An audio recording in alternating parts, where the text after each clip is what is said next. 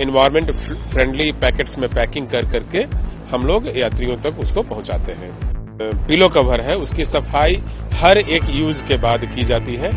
Blanket की सफ़ाई के लिए जो है वह हम लोग पंद्रह दिनों का मार्जिन रखते हैं। किसी कंबल और चादर को आप रोज इस्तेमाल करते हैं, तब भी हफ़्ते भर में धो लेते हैं। लेकिन यह भारतीय रेल है, जो कि महीने में एक बार कंबल को धोने का प्रावधान किए हुए है।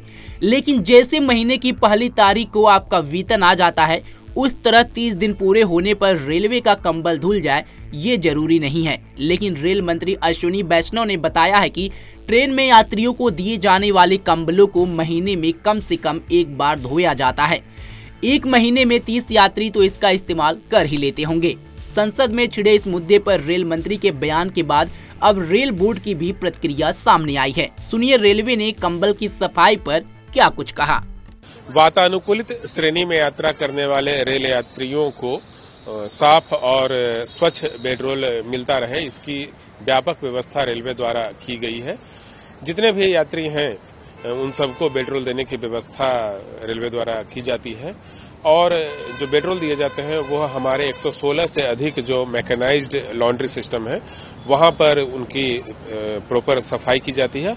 और सफ़ाई के उपरांत वाइटोमीटर से लिनेन की स्वच्छता की जाँच की जाती है, कि उसकी सफेदी की जाँच की जाती है, और उसके बाद उसकी इन्वायरमेंट फ्रेंडली पैकेट्स में पैकिंग कर करके हम लोग यात्रियों तक उसको पहुंचाते हैं। पिलो कवर है, उसकी सफ़ाई हर एक यूज़ के बाद की जाती है, जबकि ब्लैंकेट की सफ़ाई के लिए जो है, वह हम लोग पंद्रह दिनों का मार्जिन रखते हैं। 2010 से पहले भारतीय रेल में ब्लैंकेट की सफ़ाई तीन महीने में एक बार की जाती थी। बाद में नियम चेंज कर करके बनाया गया कि दो महीने में एक बार कम से कम ब्लैंकेट की सफ़ाई हो। अभी जो वर्तमान व्यवस्था है, उसमें एक महीने में कम से कम एक बार ब्लैंकेट की सफ़ाई होती है।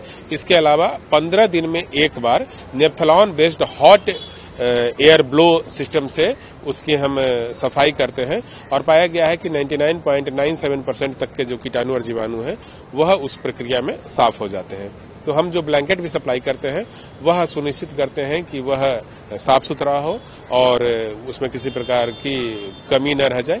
यदि कोई कस्टमर शिकायत करता है तो तत्काल ब्लैंकेट या लिनन को बदलने की व्यवस्था भी भारतीय रेलवे द्वारा की गई है। इसके अलावा हर ट्रिप के बाद प्रत्येक ब्लैंकेट की जाँच की जाती है और उस जाँच में भी यदि कोई ब्लैंकेट गंदा या खराब पाया जाता है तो उसके तत्काल सफ़ाई की व्यवस्था रेलवे द्वारा की जाती है। यात्रा के दौरान यदि कोई भी यात्री देखता है कि उसका ब्लैंकेट या बेडरोल गंदा है तो किस नंबर पर संपर्क करे, किससे कांटेक्ट करे? सबसे पहले मैनुअल बेसिस पर जो ब्लैंकेट सप्लाई करने के लिए हम लोग ने स्टाफ रखा है, उस स्टाफ को बुला कर करके ब्लैंकेट को बदलने के लिए कहा जा सकता है। यदि वह स्टाफ नहीं बदलता है या बार बार कहने के बावजूद यात्री की बात नहीं मानता है तो रेलवे ने एक हेल्पलाइन नंबर दे रखा है वन थ्री नाइन उस 139 पर कॉल कर करके भी मदद ली जा सकती है। इसके अलावा ट्विटर फेसबुक और दूसरे सोशल मीडिया के जो हैंडल्स हैं, वहाँ पर हम राउंड द क्लॉक यानी कि 24 फोर आवर्स मॉनिटरिंग करते हैं। किसी भी हैंडल के माध्यम से रेलवे के उच्च अधिकारियों से संपर्क किया जा सकता है और हम हर ट्वीट का, हर फेसबुक पोस्ट की मॉनिटरिंग करते हैं और उसके बाद तत्काल कार्रवाई करते हैं। सर कई बार जो है यात्री होते हैं वो घर भी ले जाते हैं बेडशीट वगैरह ये सब चीज़। उसके लिए क्या कार्रवाई? देखिए भारतीय रेल की संपत्ति राष्ट्र की संपत्ति है हम सबकी संपत्ति है। नियमानुसार यूज़ के बाद ब्लैंकेट टॉवेल और जो लिनेन है वह भारतीय रेल के स्टाफ को वापस लौटा देना है। इसकी हम लोग मॉनिटरिंग करते हैं। यदि कोई ले जाने की कोशिश करता है तो इट्स केस ऑफ़ थेफ्ट और उसके जो है वो हम नियमानुसार कार्रवाई करते हैं।